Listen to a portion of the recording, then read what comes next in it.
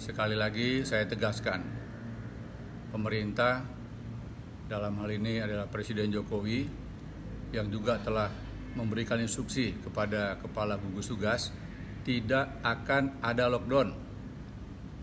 Sehingga jawaban saya ini mungkin bisa menjadi sebuah kepastian bagi seluruh komponen masyarakat termasuk juga rekan-rekan sahabat dari berbagai negara yang sekarang berada di Indonesia khususnya di Jakarta.